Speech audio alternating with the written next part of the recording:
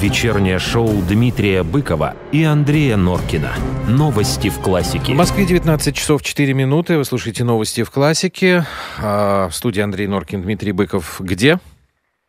Да я уже практически повернул к нам, так что сейчас займу свое место рядом с тобой. Привет всем. Он, привет всем, повернул к нам. Прекрасно. Ну, начинаем. Happy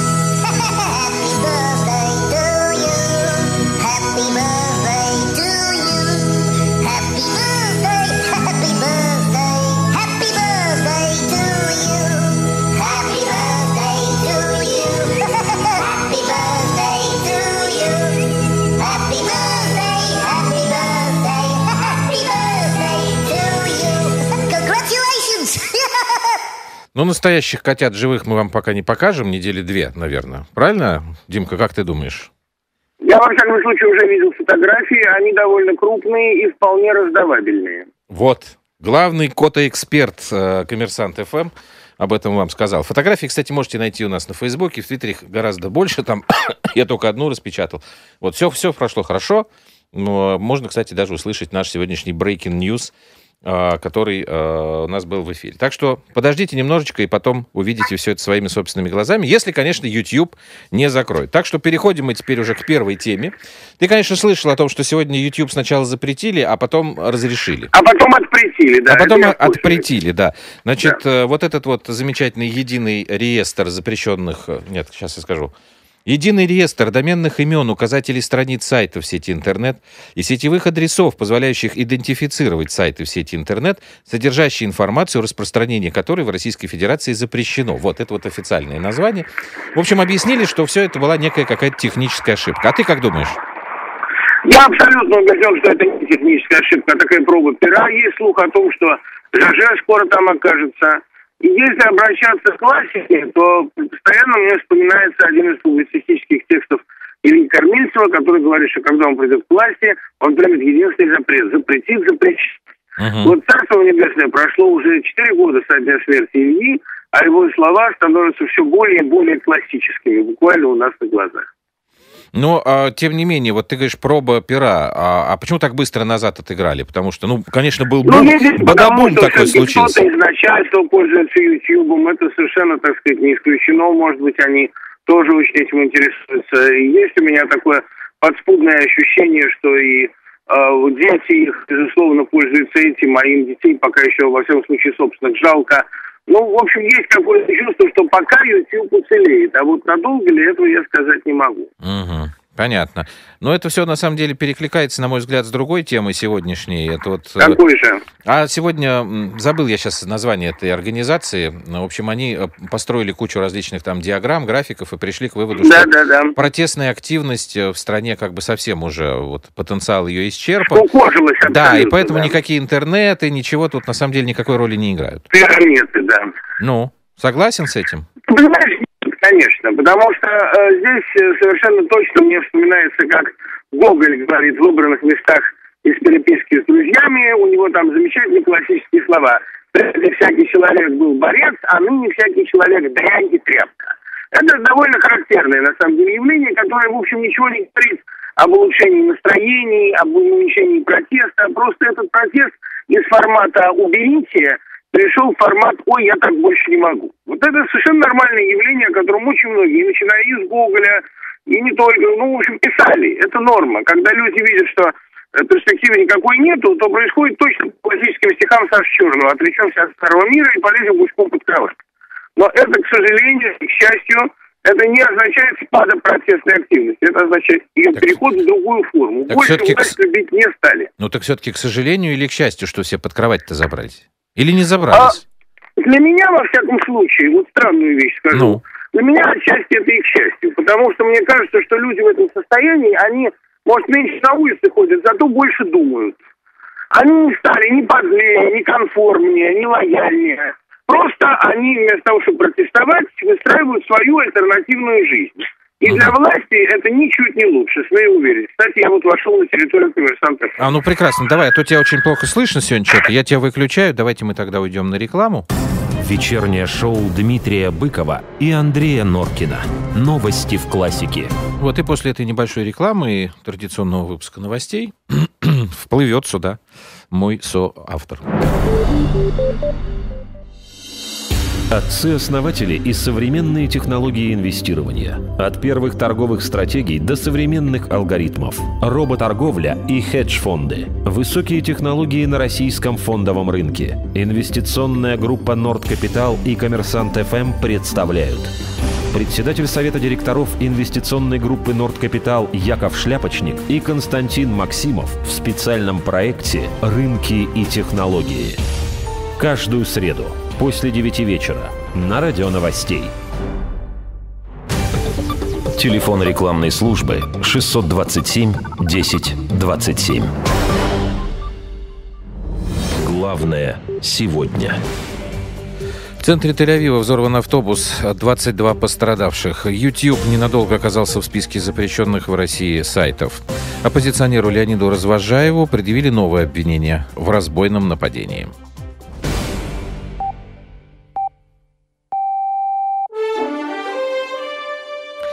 19 часов 10 минут в Москве. И новости коротко. Адрес видеохостинга YouTube удален из списка ресурсов, запрещенных к распространению информации. Как пояснили Интерфаксу в Роскомнадзоре, администрация сайта удалила весь нежелательный контент. Нежелательная информация удалена. Адрес сайта держался какое-то время в реестре из-за технического сбоя. Но к 17.00 по московскому времени мы из реестра его исключили, пояснили в Роскомнадзоре. ЛДПР подготовила и завтра внесет в Думу. Прекрати пыхтеть. Да что ж ты такой? Выключи микрофон. Ну скажи здрасте всем нормально, чтобы тебя слышать. Здрасте всем, прекращаю пыхтеть. Да. ЛДПР подготовил и завтра внесет в Думу законопроект, устанавливающий новый порядок выплаты зарплат раз в неделю.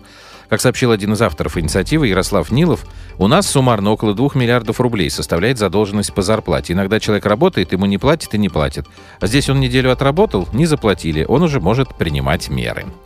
Татуировку на пояснице Кейт Мосс оценили в миллион фунтов. В интервью журналу Vanity Fair модель рассказала, что автором этой татуировки, две маленькие птички такие у нее там, является художник Люсьен Фрейд, написавший ее портрет в 2002 году. Издание Shine подсчитало, что если сама картина была продана за 3 миллиона 930 тысяч фунтов, то стоимость татуировки работы Фрейда составляет как раз около миллиона. Московский трафик в эти минуты. Слово Никите Нелюбину. Программу представляет ООО «Медицинский центр Агами». Клиника Агами. Стоматология по мировым стандартам. И все внимание на третье транспортное кольцо. Загруженность 7 баллов э, в оба направления. С внутренней стороны пробки между Волгоградским проспектом и Варшавкой, а также на участке от э, проспекта Вернадского. Э, Пробка тянется фактически до Ленинградского шоссе. С внешней стороны тоже серьезные заторы от Русаковской эстакады до Савеловской. От э, Звенигородки пробка э, тянется фактически до Кутузовского э, проспекта. Ну и теперь смотрим на Садовое кольцо. Загруженность Яндекс дает очень высокую, 9 баллов. Внутри их э, пробки от Высокоявского моста до Ленинского проспекта, от Смоленской Сенной площади до Малой Дмитровки. И с внешней стороны пробка тянется от Таганской площади до Кудринской. Через 10 минут о выездах из Москвы в область. Клиника Агами предлагает программу «Антистресс в стоматологии». Лечение без боли, страха и неприятных воспоминаний. Клиника Агами 775-4565. О противопоказаниях проконсультируйтесь со специалистом. Вечернее шоу Дмитрия Быкова и Андрея Норкина. Новости в классике. 19 часов и 12 минут в Москве. Итак, Дмитрий Быков уже в студии. Теперь можешь включить микрофон. Можешь даже попыхтеть для Да чего уж там я отпыхтелся. Здрасте, очень приятно. да. Да, мне тоже очень приятно, потому что что-то сегодня по телефону плохо тебе было слышно. Высокая загруженность. Слушай, а мы завтра ведь с тобой не, не работаем в Почему эфире. мы не работаем в эфире? Но меня завтра не будет, а ты завтра будешь? Я буду. А, значит, значит вместо меня. А что с тобой? А я завтра на церемонии коммерсанта года там принимаю участие. Господи, ну нет, ну я буду, да. Ты я будешь, надеюсь, всё, мне хорошо. кого-нибудь выделят. Ну, те, конечно, как можно. Главное, Да. чтобы ты был. Мы-то так чего. Так, э, так что-то получилось сегодня, что у нас программа сверстана, вот, э, знаете, то есть тема политическая какая-то, важная, серьезная, тема э, чуть-чуть попроще. Хотя Дмитрий Львович может любую тему развернуть таким оригинальным образом. Значит, правозащитная организация, одна из самых известных правозащитных организаций в мире, Human Rights Watch она называется, Да. а, сегодня э, выступила с требованием прекратить разработки боевых роботов. Потому что боевые роботы, они могут не отличить э, солдата от мирного жителя. И, соответственно, значит, это все приведет к увеличению жертв. Но то, что роботы бывают тупыми, особенно боевые роботы, это в свое время было блестяще иллюстрировано в классическом роботе полицейском. Пауля Верховина. Давайте-ка вспомним этот момент, когда там презентуют первый а, вариант этого Мистер робота. Кини? Да, сэр. Прошу вашей помощи. Да, сэр. Мистер Кини поможет воссоздать процедуру разоружения и ареста. Мистер Кини, вы бандит. У вас пистолет. Направьте его на ЭД. Да, сэр. Положите оружие. 20 секунд на исполнение. Думаю, вам стоит подчиниться. У вас осталось 15 секунд. Угроза насилия, статья 40, часть 2. У вас осталось 5 секунд. Помогите! 4, 3, 2, 1. Помогите! Я вынужден применить силу. Вот такая кровища мяса и насилия в эфире Коммерсант. Ну, ты разделяешь опасения? Потому что все эксперты говорят, что ничего-то, ни- ничего не будет, все равно все будут придумывать этих роботов, потому что это мировой тренд, и вообще мы не можем стоять на месте. Мы человечество. Ну, на самом деле, если уж говорить о классике, то полагалось бы здесь, конечно, вспомнить первый закон роботехники, сформулированный Азимовым, что робот никогда не будет и не может Не может. действовать во вред Мгм, человеку. человеку. Да, и, кстати говоря, этот закон по большей части исполнялся, поэтому я считаю, что э, боевые роботы для человека Исполнялся у Азимова, а у других Большой э, авторов опасности. э, роботы, Не будь представ- здоров, не чего зажигать. Нет, конечно, в робота все-таки заложена неспособность напасть на человека, причинить вред человеку и так далее. Другое дело, что Human Rights Watch, они по-своему, безусловно, правы. Если роботы нас заменят в какой-то момент, человечество вымрет. И здесь нельзя вспомнить другой гениальный классический рассказ.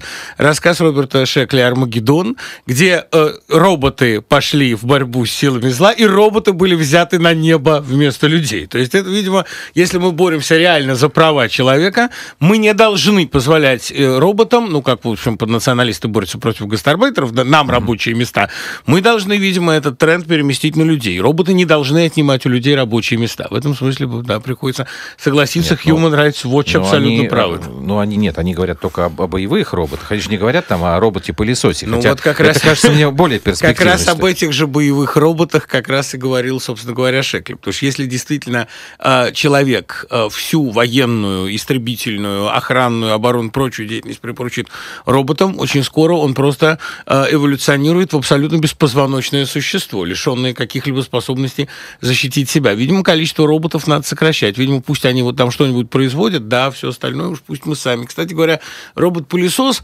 он, конечно, хорошая вещь, но он с тех пор, как его... Ну, он тоже тупой немножко. Во-первых, он Туп- тупой, да. тупой. Во-вторых, с тех пор, как его завели, мне кажется, дети разболтались уже окончательно. Что так раньше их можно было хотя бы заставить пылесосить. Он так, же, он так же, как вот этот вот из робота полицейского, по лестницам не умеет ходить. Ну, тупой. вот. Ничего. Не, вот самое ужасное, что он, когда упирается в угол, вот тогда начинает безумно реагировать, ничего не может сделать, орет. Орет. Это очень трогательно. А скажи мне, пожалуйста, это Да. правда вот был такой, как бы, ну, я не знаю, канон, что ли, что советские э, литературные роботы, кинороботы, они всегда были вот гуманнее, чем э, западные?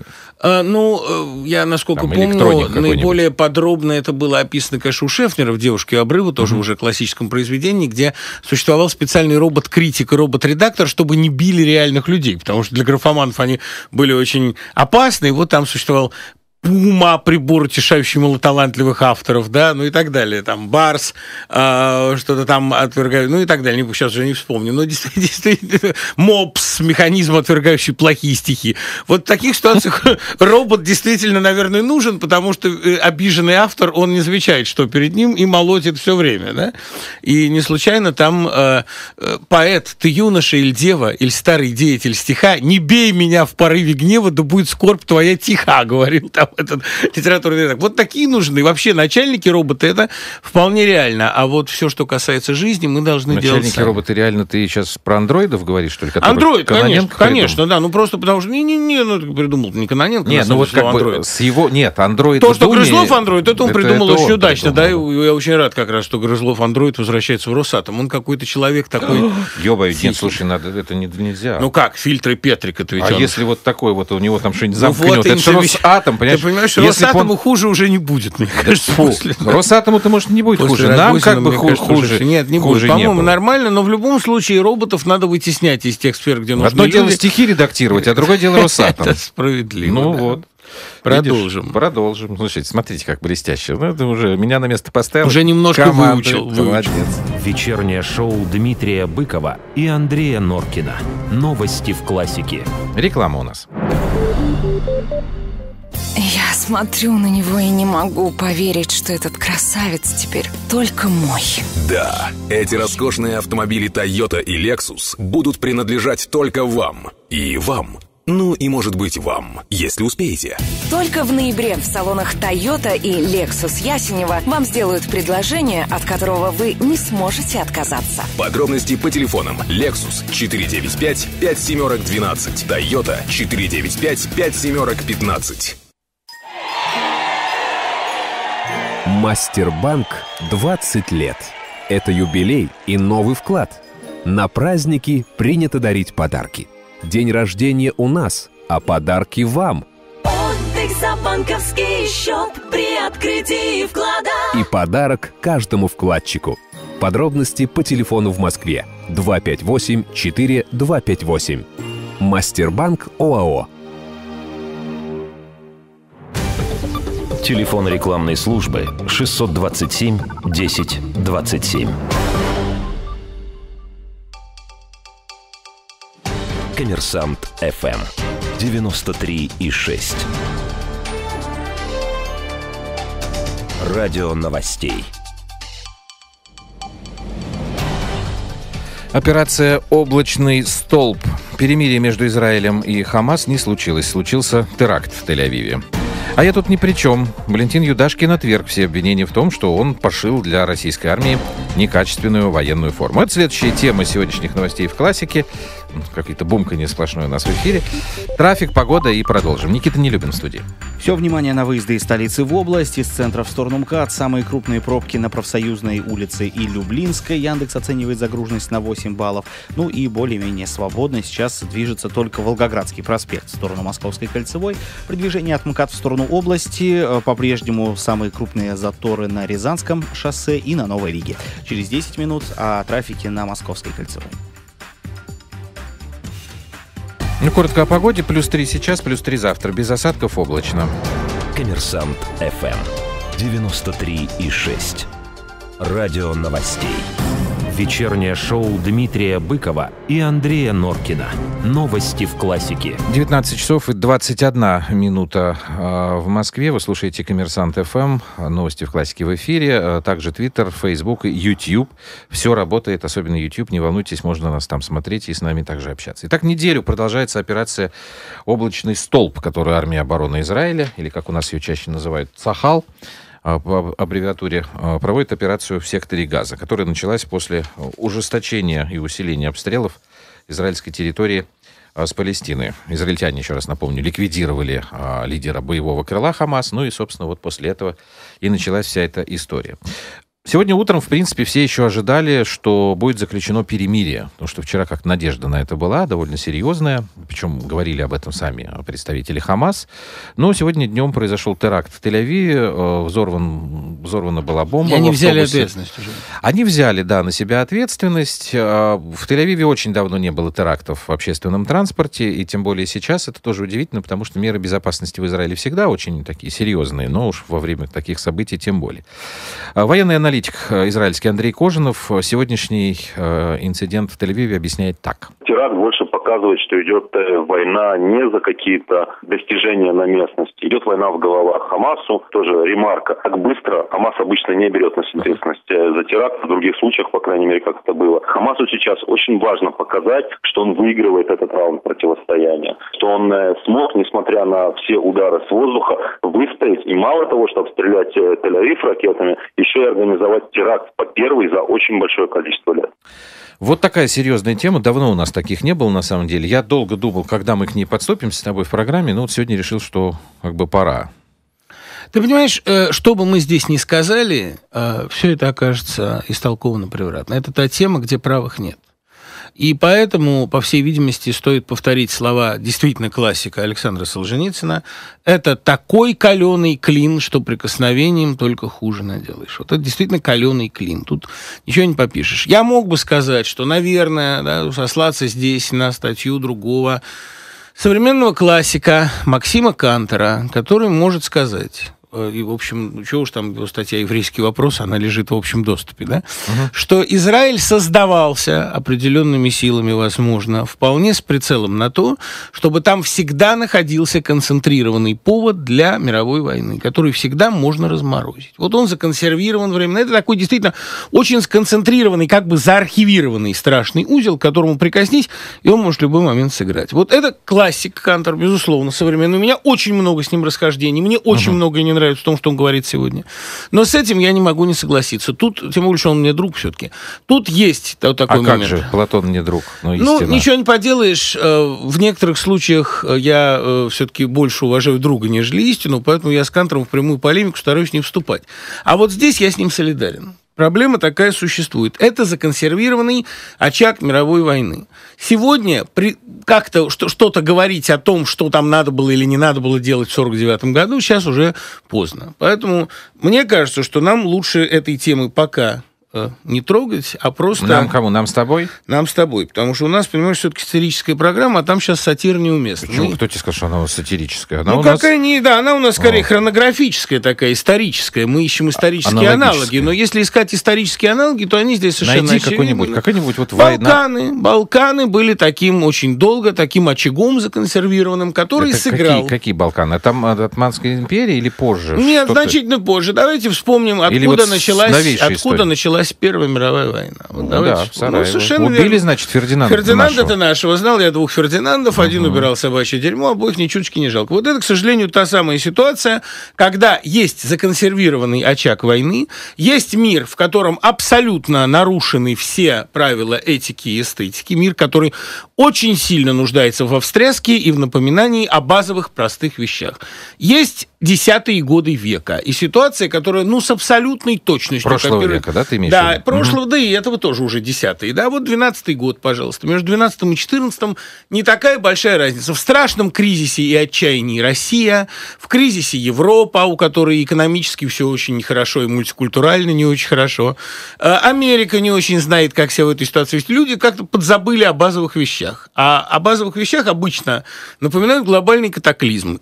Очень не хочется, чтобы это произошло, но аналоги, к сожалению, все налицо. Тем более, что выросло столько швейков, да, вот тогдашний швейк, осмелюсь доложить, я идиот, это все-таки не человек массы, не человек толпы, все-таки те были безусловно, другие. нет. Те Швейк, были конечно. другие. Швейк достаточно уникальное явление. Сегодня этими швейками битком набиты оба полушария, и у них в Твиттере каждый, собственно, каждые пять минут только и постит. Осмелюсь доложить, я идиот. Собственно, ни о чем другом в Твиттере не пишут. И очередные похождения браво солдат Швейка во время мировой войны, они уже, конечно, со страшной силой назревают.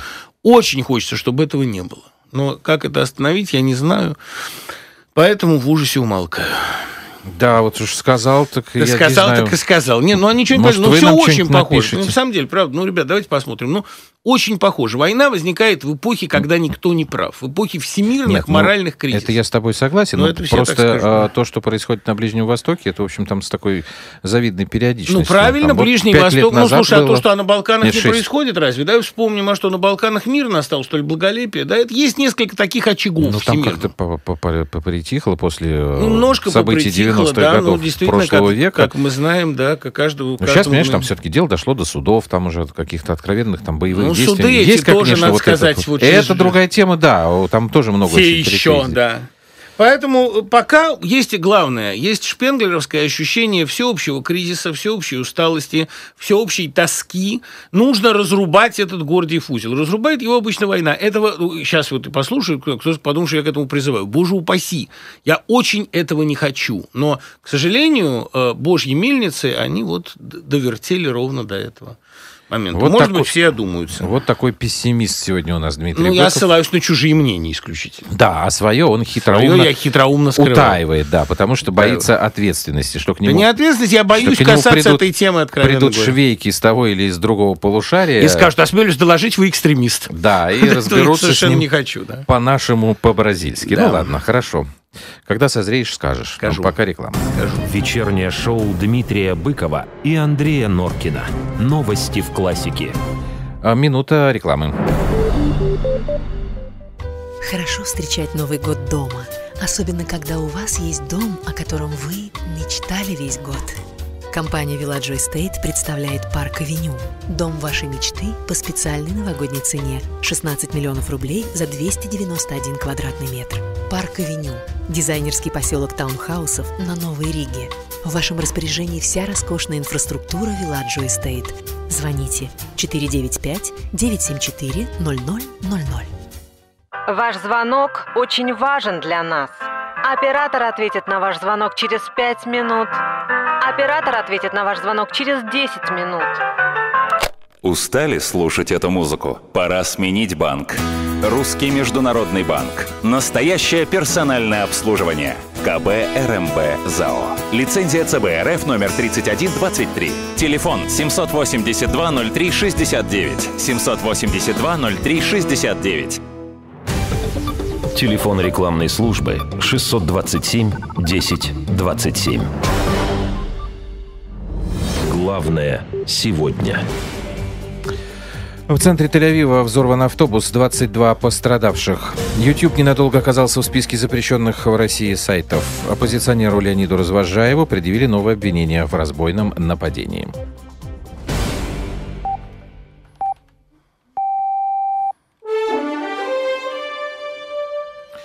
Половина восьмого вечера в Москве новости коротко. Владимир Путин предвидит определенные сложности в условиях вступления России в ВТО.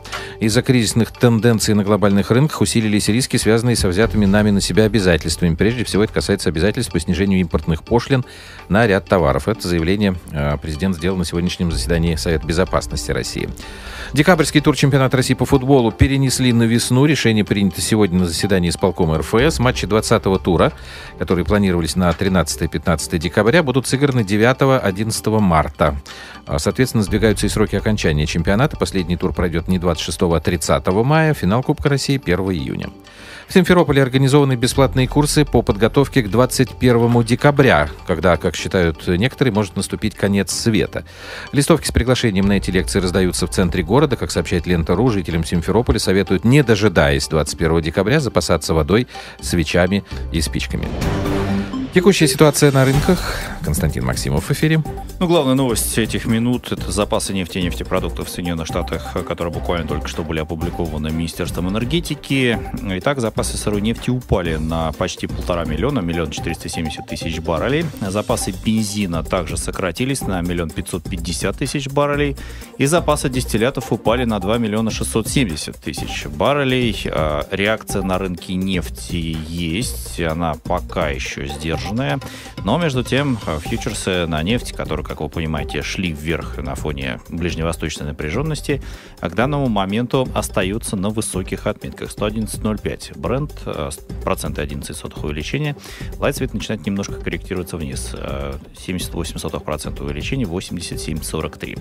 События на американском рынке развиваются сегодня фактически в условиях финальной сессии этой недели. Завтра в стране День Благодарения, рынки будут закрыты. В пятницу Нью-Йоркская фондовая биржа работает по сокращенному графику. Ну и, как предсказывают многие эксперты, именно сегодня, если уж и будет зеленый день, как говорят на рынках, то он должен быть. Между тем, S&P 1387 пунктов, 0,02% снижения. Умеренный рост в Европе, 13% увеличения. Ну а российский рынок сегодня забрался выше отметки 1400 пунктов и по индексу МВБ, и по индексу РТС. Московский трафик от Никиты Нелюбина. Все внимание на МКАД, загруженность 4 балла в оба направления. По внутренней стороне пробка от Новой Риги тянется до Волоколамского шоссе. Ну вот между Волоколамкой и Ленинградкой тоже довольно серьезные заторы. А, На востоке МКАД пробка в районе пересечения с шоссе энтузиастов. На юге между Каширкой и проспектом Андропова, а также на участке от э, Боровского шоссе до Минского. А, Теперь смотрим на внешнее направление Московской кольцевой. Там пробки от Рублево-Успенского шоссе до Можайки, от э, Савикинского до шоссе энтузиастов. Затруднено движение от Боровского шоссе до Ленинского проспекта. Информационный канал Яндекс Пробки через 10 минут о движении на третьем и Садовом. Вечернее шоу Дмитрия Быкова и Андрея Норкина. Новости в классике. 19 часов 33 минуты в Москве. Вы слушаете а, новости в классике в эфире Коммерсант ФМ. Общаетесь с нами с помощью Твиттера, Фейсбука и а, канала на Ютьюбе. Там же, кстати, нас можно и смотреть. Следующая наша тема. Валентин Юдашкин сегодня опроверг все обвинения, которые вчера там Владимир Жириновский вдруг как-то снова поднял эту волну, что, мол, Юдашкин такую форму пошил российским военным, что хуже не бывает. И мерзнут они, и вообще она совершенно не приспособлена к э, выполнению военных действий. В интервью «Коммерсант ФМ» Валентин Юдашкин сказал, что, во-первых, нет ничего общего с его э, работой, которую несколько лет назад он лично представлял президенту Путину. Минобороны сама, нет, само внесло какие-то там исправления, о чем у него есть, кстати, официальные бумаги. Ну, давайте послушаем Валентина Юдашкина. При разработке формы мы, конечно, учли исторический факт. И в основу легли такие основные концепции, что это форма Суворова. Это мы взяли цвет, фактуру, сукно. Очень приятно то, что мы использовали в генеральской форме момент Парада Победы. Это жуковские и цвета в форме Парада Победы. И в основу, конечно, головного убора и фуражки взяли основу фуражки Жукова.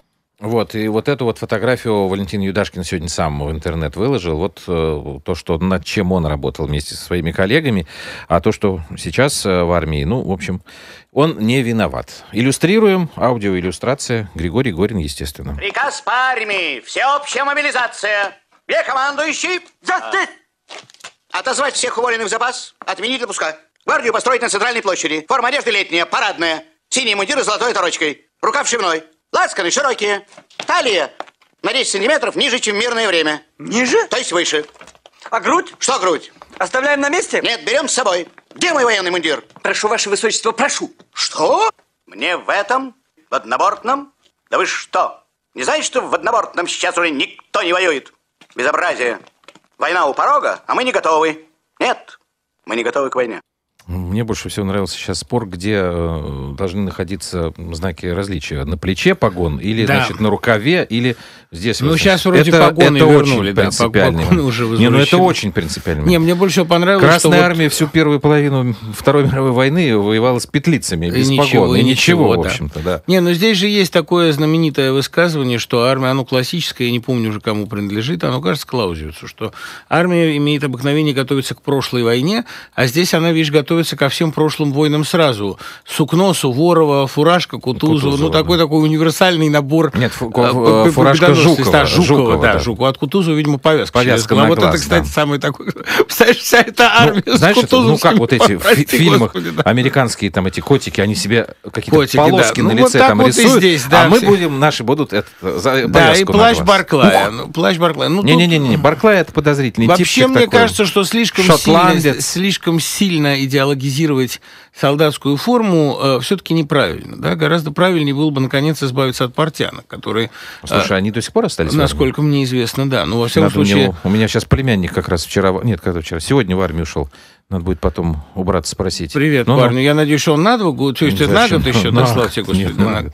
На год. Да, я, короче, сейчас уточню, есть ли еще портянки, потому А что когда мы уточни, да. служили, это было так, ну, когда... Нет, я мы слу- с тобой одновременно служили, как ты Ну, нет, дело в том, что я служил только полгода с портянками, а потому что, когда я служил в Грузии, там у нас уже быстро довольно ввели э, ботинки, и там уже были носки, у нас там портянок не было. Нет, у нас хотя, даже- хотя нет, если ехать в горы, то там в сапогах Везде тогда оставались портянки были, сапоги. Нет, конечно. у нас, когда меня перевели на флотскую форму, вот, вот морскую авиацию, у нас была часть приписана, да, у нас там тоже аэродромное обслуживание. У нас тоже разрешались ботинки и, соответственно, разрешались... А чем тебе, кстати, портянки не нравятся? Очень удобная вещь. Нет. Если уметь их наматывать Нет, правильно. даже если, не, если уметь их наматывать, это само собой, наматывать их не очень легко, но, в принципе, портянка, это, конечно, это сегодня это абсолютный пережиток. Это дикий архаизм. В 21 веке носить портянки, извини меня. да, просто, ну, просто потому что, я уже не говорю о том, что их и стирать, и они пахнут, и все... Ну, Сушить.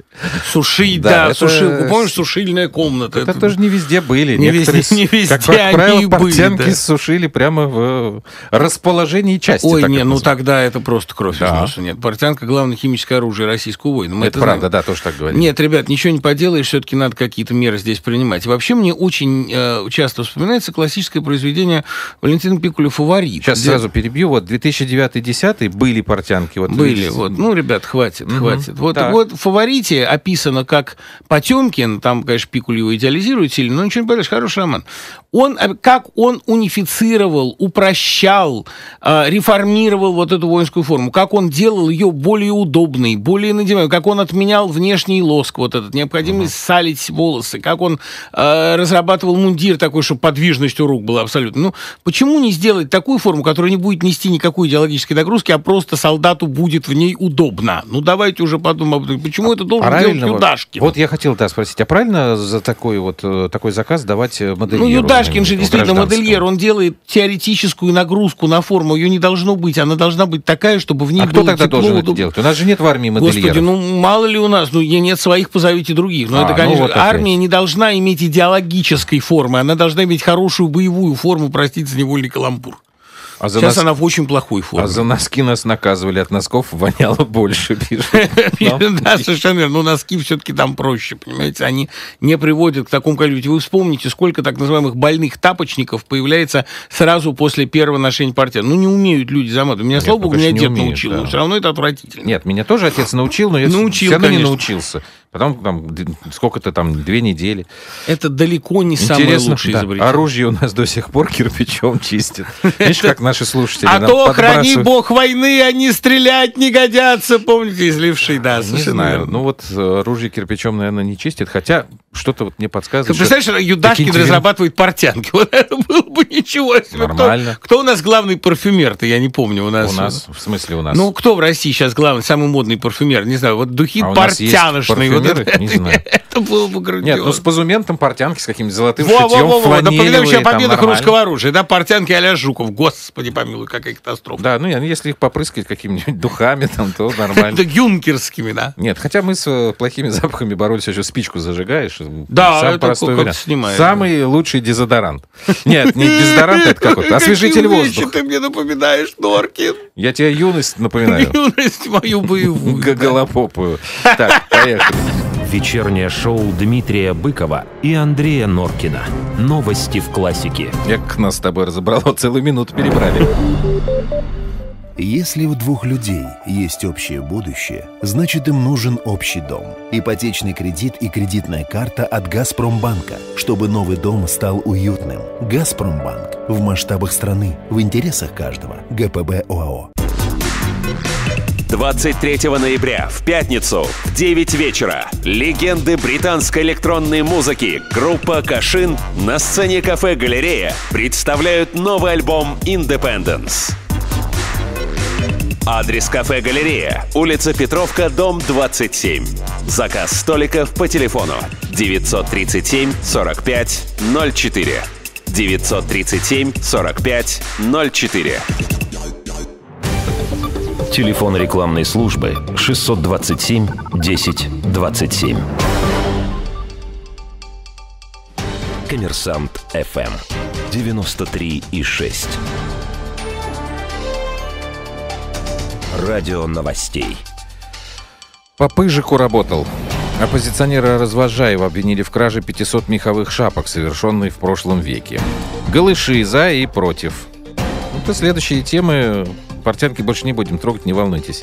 Это следующая тема новостей в классике сегодня. Сейчас трафик, погода, и мы продолжим. Слово Никите Нелюбину. Спасибо, Андрей. Все внимание сейчас на третье транспортное кольцо. Немного снизилась его загруженность. Сейчас 5 баллов по внутренней стороне и э, 4 по внешней. Внутри их э, пробка тянется от проспекта Андропова до Варшавки и далее до Ленинского проспекта. Ну вот, кстати, между Ленинским проспектом и э, так, секунду. И Ленинградским тоже Слово довольно, сложное. довольно, довольно серьезное затруднение. А, Смотрим на внешнее направление. Там тоже не все гладко. А, От Русаковской эстакады пробка тянется до Дмитровского шоссе. Ну и между Звенигородкой и Кутузовским проспектом тоже а, пробка довольно существенная. Э, Теперь смотрим на Садово. Яндекс оценивает загруженность очень высоко. 9 баллов в оба направления. Пробки с внутренней стороны от Воронцова поля до Новокузнецкой улицы, от Парка культуры до э, Смоленской Сенной площади и далее до Малой Дмитровки. И стоит Садовая по внешней стороне от Садовнической набережной до Олимпийского проспекта, а также от Долгоруковской улицы до Кудринской площади. Через 10 минут о трафике на радиальных. Три сегодня, три завтра, в смысле градуса. Осадков не будет. Коммерсант ФМ 93,6. Радио новостей. Вечернее шоу Дмитрия Быкова и Андрея Норкина. Новости в классике. 19.43. А теперь а, снова политическая тема. Леониду Развожаеву, оппозиционеру, который у нас по анатомии протеста 2, м, всякие массовые беспорядки, э, обвиняется в их организации. За 3000 грузинских долларов. Да, за 3000 грузинских долларов. Предъявили новое обвинение. Очень интересный такой момент. Э, Владимир Маркин, официальный представитель Следственного комитета, сообщил, что в 97 году Развожаев э, в составе, там, по-моему, ну, я формулировку точно не помню, не один он там был. Я А, думаю, Ройзман ему помогал, мне кажется. в городе Ангарске. Это Тоже это, а в общем, ну, это? во всяком случае, это ближе к Ройзману, чем к Москве, мне кажется. Не, ну подожди, Ройзман это Екатеринбург, а Ангарск это, по-моему, дальше. Ну, Еще, неважно. да, это Еще дальше в Сибирь, Так конечно, вот, восточнее. Значит, они э, украли у одного предпринимателя видеокамеру и 500 меховых э, шапок. Значит, э, разговаривал я сегодня... Ну, Лучше бы, конечно, меховую шапку и 500 видеокамер. Это было бы гораздо Ну, Логичнее, да. Был бы, конечно, геш... Но у него геш- не было, да. Гешефт был побольше. Но все-таки в Побольше, 97 да. году далеко не у каждого предпринимателя была видеокамера. А шапки у каждого. А шапки, просто. в принципе, были. Тем более в Ангарске. количестве 500. Тем более в Ангарске. Да. Так, адвокат э, Развожаева Дмитрий Аграновский у нас сегодня в эфире был. либо сроки давности истекли, либо они должны истечь вот буквально на днях. Но есть различные способы для того, чтобы попробовать прервать течение срока давности. У Леонида плюс, что он все время находился в поле зрения то прессы, то думы, то политики. Трудно будет сказать, что он где-то находился в розыске. Тем более дело было тогда прекращено в связи с его непричастностью, а сейчас возобновлено. Мы очень обеспокоены этой ситуацией, и мы полагаем, что вот это новое обвинение может стать поводом для этапирования его в Иркутск. Пока он находится в Лефортово, он, в общем, в безопасности. А если его будут этапировать в Иркутск, то ни за что нельзя ручаться. А, ну, в общем, почему я вспомнил тоже Пыжик, потому что мне сегодня, как вот говорили, да, нам, нам, нам тут подкинули э, знаменитый разговор о Пыжиковом деле, помните, в дне выборов? Либо сроки давности Ой, ой, либо ой, они должны ой, ой, ой. Сейчас, не Давай, то. давай. Я опять Дмитрия Аграновского запустил. ну его не Пыжиковое дело. Сама по себе судимость, конечно, не катастрофа, но пыжики. О, а вы не против отсидеть за что-нибудь другое? Ребята придумают. Ну, Гениально. вообще, если честно, Откуда это то напомню? Не хотелось бы. Но если нужно... Надо. Если для дела, если для Иммануила Гедоновича, то я готов. Это день выборов, потому что кандидат Ой, господи, э, Игорь да, да. Владимирович, он скрыл там свою судимость, потому что он по пыжикам работал. Они пыжиковые шапки из кошек пыжику. Ему дали 8 лет, но за хорошее поведение скостили 4 года. Но вот этот вот момент, что не можете Вообще, конечно, посидеть за шапки, что-нибудь другое, шапки, ребята придумают. Шапки в современной мировой политике имеют какое-то прям-таки судьбоносное значение, особенно если вспомнить одного лидера из бывшего зарубежья, э, ближнего, да, прости господи. Ну, действительно, что ж поделать? Не буду, не скажу, не знаю.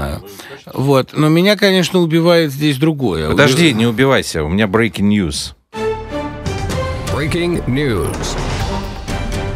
Пятый котенок родился у нас. Да ты что, шутишь? Ну вот мне сейчас вот ребята говорят. Как вы меня пугаете, ребят? Я думал, опять кого-то взяли, а у вас всего лишь родился Нет, котенок. наоборот, не взяли. Нет, я просто как-то так может быть, если 8 она А начала. как она рожает? Где она рожает? Сейчас я тебе расскажу в эфире. Не, можно А узнать, закон где, где процесс происходит? Значит, под столом экономического обозревателя Андрея Загорского. а он что- имеет опыт кошачьей Нет, гинекологии? просто не все вот эти вот домики, подстилки, пуфики, которые А, натаскали слушай, сюда сердобольные? Ну, сотрудники. пятеро, но это же это колоссально много. УЗИ, УЗИ показывало четверо, и причем вот этот пятый... Как Вы вот- УЗИ ей делали? Ну, не я делал, но коллеги ездили. Ребята, да мы разоримся. Пять котов. О чем вы говорите? Да Какой не развал- волнуйся, всех раз- Они все разноцветные. Вот это, говорят, черный. С ума сойти. Это сколько пыжиков?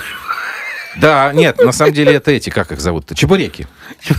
Чебуреки. Как минимум один такой Подождите, а чебурек хороший. этот родился у нее потенциально, значит, черный, да? Ну вот, говорят, спустя Слушайте, ну, 11 часов. Меня это поражает. После старшего. 11 Ну, в часов. 8 утра она сегодня начала рожать. Вот И сейчас как вот- же они как парашютисты из нее выскакивают? Гениально, ребята. Слушайте, Не это... знаю, как парашютисты А, мне, не мне парашютисты. главное кажется, что вот вся, все редакционные коты вокруг и все коты э, в Все окрестностях, кошки, да, все коты в ужасе, все напр- да, в ужасе напряглись, ожидая, собственно, что же будет, какого цвета, потому что у нее, по-моему, в этом смысле очень широкий диапазон, у нее они Хорошо. все абсолютно разные. Ладно, э, вернись к А шапкам. возвращаемся к делу Развожаева. К шапкам. да, значит, Ты- я вот, тебя перебил э, на шапках. Ну, тут совершенно совершенно очевидная аналогия. Не брал я на душу покойника и не испытывал судьбу. Да, я был душой дурного общества, я могу сказать тебе, мою фамилию, имя, отчество прекрасно знали в КГБ. Ну, Во всех отношениях пророческая песня Высоцкого, да, ему предлагают взять на душу, правда, пока не покойника, а ограбление. А, ну, он на это отвечает. Нет, я... Все-таки очень странно, 97-й год. Ну, послушай, ну а что делать, если на него больше ничего нет, кроме того, что он еще кошек однажды упомянул. Кошек однажды повесил кошку. Да? Причем даже не он, а он напечатал об этом рассказ, а сам Мгм. смотрел. Якобы, да, э, художественное произведение такое. Ну, естественно, все это вызывает только ужас и стыд, потому что что это за оппозиция пошла такая, на которую нечего повесить? Да, вспомним Бориса Савенкова. Уж если Савенкова убрали, так у него тут сразу все Он был выяснялось. террорист. Террорист настоящий. А этот украл вообще какую-то, я не знаю, да? Чижик съел. Пыжика снял. Чижика съел, пыжика снял. Ребят, То есть ну, Развожаев, Чижик, Пыжик да, ну да, современной чиж- российской пыжик, пыжик современного терроризма. Ну, несерьезно. И главное, же, господи, ну, у меня все время вот возникает такое страшное еще. Может быть, оно только у меня возникает, я не понимаю. Они действительно задались целью сделать фарс. Они что, вот всем своим видом поговорят, ребята, мы скажем сейчас про Бомбея до Лондона тоннель, и вы все поверите, и вы ничего не сделаете. Говорим, ну, смешно, ну, правда, ну... Давайте уже действительно, ну, ну, получается, что и, и мечеть тоже я, да? Нет, мечеть это что-то. Часовня Час- тоже я, да, часовня. часовня тоже я, нет, 16 век. Ну, Нет, это да-да, это, ну, немножечко все-таки, понимаете, ну, Нет, ну, в принципе, если до 97 года добрались, то можно и как бы... Ну и главное, понимаете, ребят, ну что же это в самом деле за террорист такой, что он у грузинов взял... а, Три тысячи, да. Три тысячи и украл пыжиковую шапку. Ну, ребят, ну... 500 пыжиковых шапок 500 на- настаивают на 500 точности пыжиковых формулировок. шапок. Ну, у нас здесь, ну, господи, ну это же... Три магнитофона. Ты понимаешь, почему... Три куртки кожаные Да, он посягнул на самое смешное, что, то есть на самое святое, что на, на Конституцию. Нет, это у нас уже каша с тобой пошла. Это уже вообще из другой Нет, истории. ребят, ну давайте, правда, ну что это за террористы такие? Давайте вспомним великие образцы, давайте вспомним Азифа, я не знаю, там Егора Сазонова, господи, ну Плеве, там у, убийцы и прочих других замечательных людей, Веру Засулич, там, да, ну, ну это там, ну, Анна Степняка Кравчинского, но это были серьезные люди, им было что предъявить, ну, до такого никогда не доходило. Значит, я, в общем, короче, за то, чтобы либо немедленно найти реальных террористов, дабы предъявить их обществу, меня не предлагать, я очень далек от Не-не-не, левых да. взглядов, да, М, а то они любят. Такое послушать, да, вот, а, либо, значит, давайте действительно его выпускайте, потому что позорище, вот у России может быть чем угодно, но позорищем она быть не может. Окей. Вечернее шоу Дмитрия Быкова и Андрея Норкина. Новости в классике. И реклама. Спорткар-центр, первый официальный дилер Porsche в России, предлагает вам 75 дней самых удивительных цен на самые свежие Панамеры 2012 года. Сейчас в автосалонах компании Спорткар-центр вы можете выбрать в наличии или заказать свой индивидуальный Porsche Panamera с максимальной выгодой для вас. Уникальное ценовое предложение в Спорткар-центре 937 55 11. Спорткар-центр. Телефон рекламной службы 627 10 27. Главное сегодня. В центре Тель-Авива взорван автобус, э, около 20 пострадавших. YouTube ненадолго оказался в списке запрещенных в России сайтов. Оппозиционеру Леониду Развожаеву предъявили новое обвинение в разбойном нападении.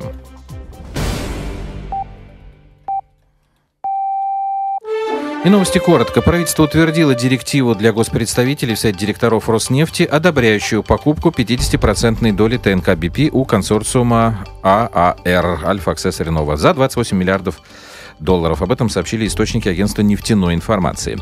На здании правозащитной организации «Мемориал» в Москве неизвестные сделали надпись «Иностранный агент Love USA». Запись в живом журнале центра цитирует газета.ру. А Рядом с табличкой «Мемориала» также расклеены стикеры с текстом «Иностранный агент». Я напомню, сегодня вступил в силу закон, обязывающий некоммерческие организации, получающие иностранное финансирование, регистрироваться в качестве иностранных агентов. Компания «20 век Fox» отменила повторный выпуск в прокат фантастического боевика Роланда Эмериха «День независимости» в формате 3D.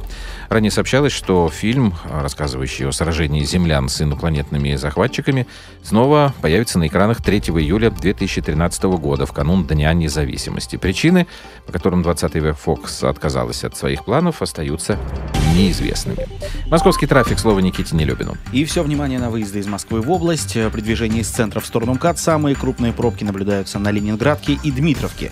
Яндекс оценивает загруженность этих магистралей на 7 баллов. Более-менее свободно движение в сторону Московской кольцевой только по Волоколамскому шоссе. Ну и при движении от МКАД в сторону э, области э, пальму первенства по загруженности удерживают Новорязанка и Дмитровка. Через 10 минут о трафике на МКАД. Забыл, какую кнопочку надо нажимать. Вечернее шоу Дмитрия Быкова и Андрея Норкина. Новости в классике. 19 часов 52 минуты в Москве. Вы слушаете э, «Коммерсант ФМ». Э, Новости в классике. Можно нас также смотреть э, на YouTube. Общаться э, через тот же самый YouTube, Facebook и Twitter. Так, а, возможно, шапки предназначались для грузин, В обмен, да, а потом теперь за них пришли 3000. Хуже, если они Ну, предназначались для Единой. России заранее. У нас Инфляция. пышковая шапка всегда считалась атрибутом чиновников. Это мы, это мы с тобой думаем, что она пыжиковая. Мы же не знали. А она кошиковая, оказывается, да, по всей видимости. Не, ну 500 шапок за 3000 долларов. Я думаю, что сомнительно. инфляция. Так, и последняя тема на сегодня, если, конечно, коты опять там не начнут Ну, плодиться у шестой- нас со страшной шестой, силой. да. шестой даешь шестого. Значит, мы ее назвали сегодня «Голыши за и против», э, «Голая правда». Э, Опять армия, что ли? Нет. Сначала МТС. Так, а что с ними случилось? Значит, э, в офисе э, сотрудники компании в набережных Челнах, ну, один там из офиса, значит, э, сказали, что их наказали и заставили фотографироваться в непристойном виде. То есть, то там сначала говорили, что их там чуть ли не голышом заставляли сниматься, ну, потом в А в белье. непристойном это как? Ну, в белье. Вот давай, Быков, ну-ка немедленно снимаешь же- свои хаки, Кто- штаны. и- Кто мог его заставить? Кого, Быкова? Нет, их. Ну, начальники. Ну, что же это за начальники такие? Ну, вот такие. бог? Ты помнишь, как в игрушке он э, заставляет э, героя Пьера Ришара штаны снимать? Так это Потом ужасы- говорит, да, это кто из нас больше капитализма, да? Нет, Ну. в капитализме ужасы другие. Вот, посмотри на эти. Опять Это же, кто это? Это ужасы. Это вот эти куча голых э, дядек. Это дядьки Почему все очень исключительно с голыми такие? задницами. Миленькие? Ты Ну, разбираешься в мужских задницах? Нет, ну просто что такого? Ничего ужасного. ну Ты пугаешь меня? Ничего ужасного. Это Сан-Франциско. Это ежегодный парад нагишом, который там они проводят. В общем, его запретили. Там не только дядьки что? Почему участвуют. запретили? Значит, ну потому что это э, оскорбление Призыв разжигания? чувств верующих. да. А, понятно. То есть у них до них дошло, наконец. Жители центрального района, где он Докатилось. проходил, им вот э, надоело да. любоваться, их, в отличие от тебя. Они не видят здесь ничего миленького. Ничего миленького, Вот там да. сегодня был митинг большой, и вот одна девушка, я не знаю, как ее зовут, давай мы ее послушаем, выступление на митинге. У нас есть права, и если проявление нашей природы кому-то не нравится, это не значит, что эти права надо отменять. Мы выступаем за свободу слова и тела. Дело не в одежде. Одежда – это всего лишь оболочка. Вот, понимаешь, свобода слова здесь тоже. А одежда это только оболочка. Вот что у Ну, тебя, какие она, мысли Так есть? она, наоборот, за право ходить голым. Ну, конечно, она же, я же тебе говорю, там был митинг протеста, что им запретили с голой жопой ходить по улице. Но здесь, к сожалению, понимаешь, вот э, ровно противоположные ситуации. Одним запрещают, других Да, недовольные, а других других заставляют. Да, вот это, видимо, потому, что просто э, в России быть голым всегда какое-то унижение. Да? Вообще, и отсюда, заметьте, очень малое распространение нудизма. Это вещь вообще не модная. Да? Вот а раздеть – это такое ужасное унижение. Раздеть, пустить, там, вывалить в пуху. Да? Если здесь кто-то шагает голым, то это не доказательство, скажем, свободы слова или свободы нравов, а это отсутствие одежды, отсутствие денег, как правило. Да? Вот это... Поэтому, э, ну, во всяком случае, символ нищеты всегда нагота.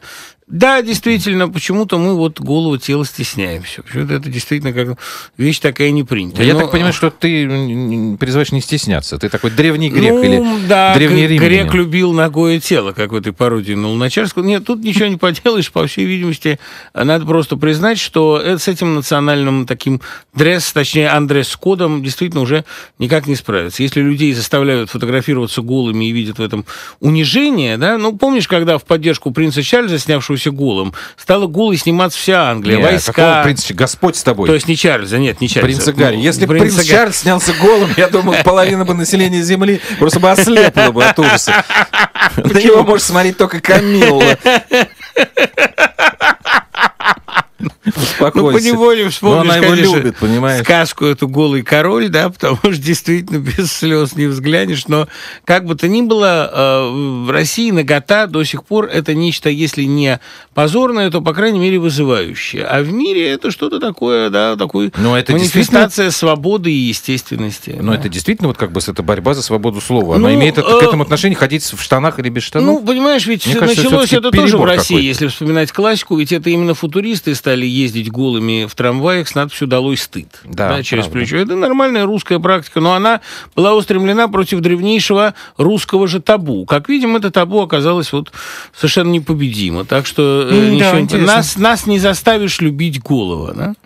Есть же замечательный такой, кстати, палиндром. э, Я Ну. не знаю, можно ли его процитировать. Ну, а что там, плохие слова? А, вот, ну, оголи жопу пожилого. Вот это, слово перевертыш. Он напечатан широко. довольно. предложение, да. Предложение. Оголи жопу пожилого. Я думаю, что это можно. Но до сих пор считается, что оголить это действительно такое абсолютно репрессивная мера. Ну ладно, все, пора нам заканчивать. Значит, э, я прощаюсь с вами в новостях в классике до вторника. Дима, до завтра. Заканчиваем сегодня песней, э, которая вот навеяна этими всеми дискуссиями о неглиже, о ноготе. Но на самом деле, конечно, не о роли одежды или отсутствии оной, а о смысле жизни. Соня Сотник, фрагмент ее композиции «Пятый размер». Пока. Я могу пить и смеяться, я могу жить и хотеть. Я сама куплю себе платье, я знаю, что могу умереть. Захлопнуть вовремя двери, остаться или уйти. У меня нет тебе вопросов, мама, кроме